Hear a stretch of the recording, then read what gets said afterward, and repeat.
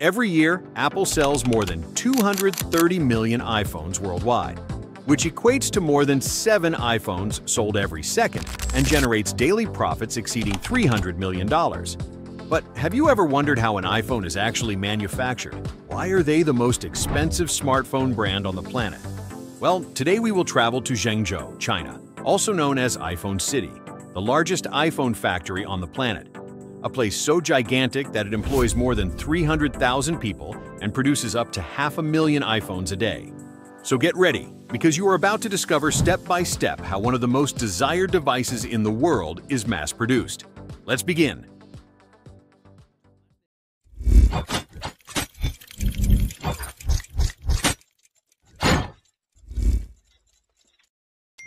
Step number one, design and materials.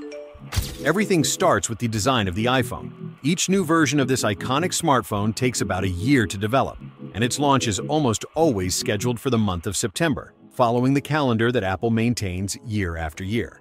To create it, a team of engineers and designers works tirelessly, experimenting with materials, polishing every curve of the phone, defining the exact position of the cameras, the battery, the internal components, and even the final color of each model. They use 3D printing technology to create physical prototypes, testing combinations over and over again until they find the perfect one. In fact, a single iPhone can go through more than 100 prototypes before being approved. That implies months of adjustments, redesigns, and tests until everything fits with absolute precision. Once the design is approved, the parts are planned. Did you know that each iPhone is made up of more than 1,400 different components? And all of them must fit inside an ultra-thin body of barely 8 millimeters thick. Simply impressive. And the most amazing thing is that each component comes from a different place. The chips and processors arrive from Taiwan and the United States, while the screen glass and cameras are manufactured in Japan and Korea. All these pieces travel thousands of kilometers to meet at a single point, the factory. And now that the design is ready and the materials have arrived, it's time to get everything going and manufacture hundreds of thousands of iPhones a day. Let's go there. Step number two, assembling the screen. With the design approved and all the parts ready, one of the most delicate phases of the entire process begins, the assembly of the screen. Apple uses ultra-high-resolution OLED panels, capable of displaying millions of colors with such impressive brightness and sharpness that they even exceed 4K resolution. When these screens arrive at the factory, the first thing is to ensure that they are in perfect condition. For this, they pass through automatic sensors and precision cameras that detect any defect, no matter how small, a scratch, a bubble, or even a single dead pixel. And if anything is detected, that screen is discarded immediately. After passing the quality control, the screens advance along the assembly line, where robotic arms clean them and apply an invisible protective layer that helps prevent fingerprints and marks. Then, a specialized machine places an adhesive film on the back of each panel, which will allow it to be attached to the iPhone body without moving even a millimeter. Next, each screen is precisely aligned on the phone's frame.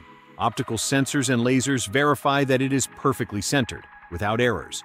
Although it seems like a meticulous process, the machines are so perfected that they can assemble more than 600 screens per minute, a speed and precision that would be impossible to achieve by hand. And although almost this entire process is automatic, operators supervise each stage and perform final visual inspections to ensure that everything is perfect before continuing with the assembly.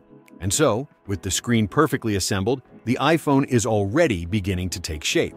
But the most important thing still needs to be integrated, the motherboard, and all those tiny internal components that make it work.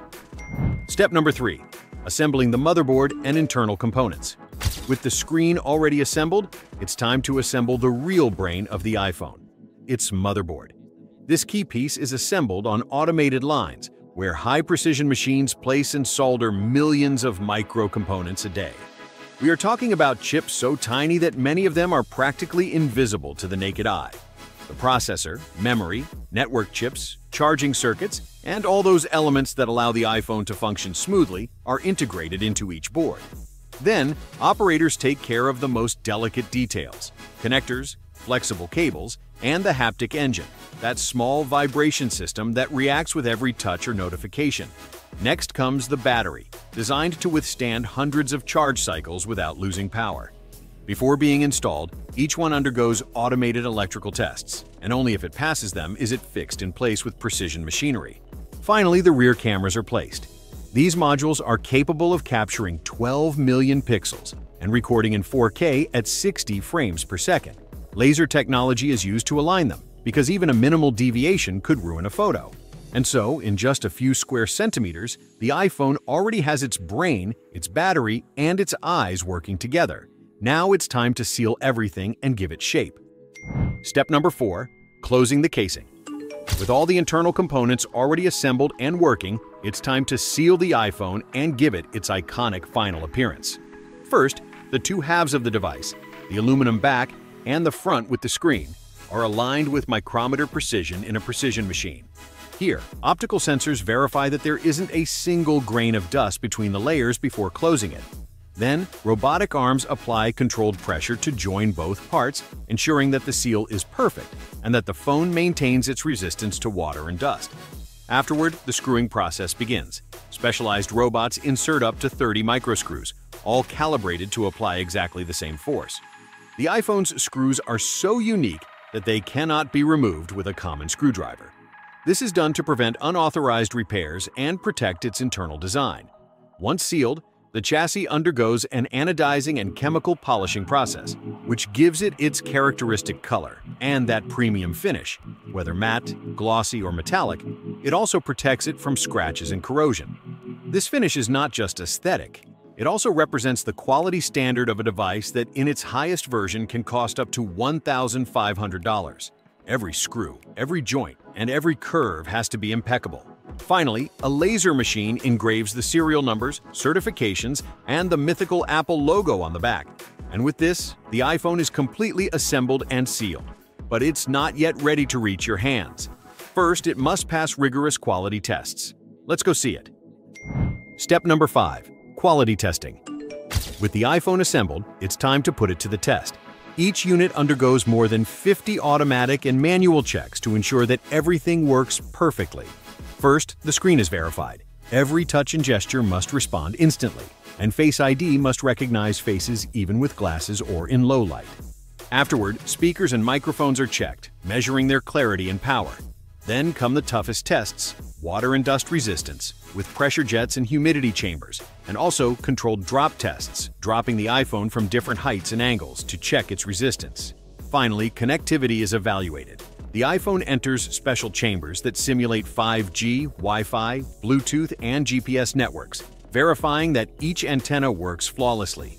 Only if it passes all the tests is that iPhone ready to enter its iconic white box and be shipped to all Apple stores.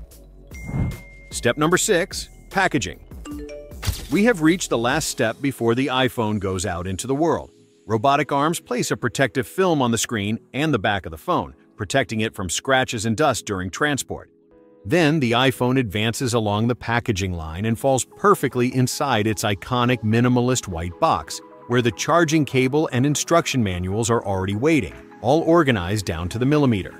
Next, the box is automatically closed and wrapped in heat-sealed plastic, ensuring that no one has opened it before.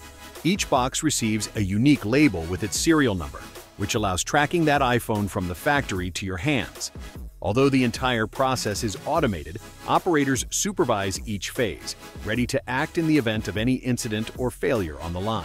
Finally, the boxes are grouped on large pallets, stacked and wrapped for protection. Each pallet is scanned and digitally registered, adding another level of control in this impressive production chain. And so, each iPhone is now packaged, protected, and ready for its journey to the stores. Step number 7. Global Distribution With the iPhones packaged and ready, a real logistical race begins. Every day, more than half a million iPhones leave the factory bound for over 100 countries around the world. From China alone, Apple ships more than 30 weekly cargo flights filled exclusively with phones. Did you know that the iPhone is the most exported electronic product by air in the entire planet? In less than 72 hours, a newly manufactured iPhone can already be on display in a store in New York, Paris, or Tokyo. A perfectly timed journey that connects a factory in China with millions of people worldwide. And there you have it, a small, elegant, and minimalist device. But behind it, one of the largest, most precise, and complex production and logistics chains on the planet.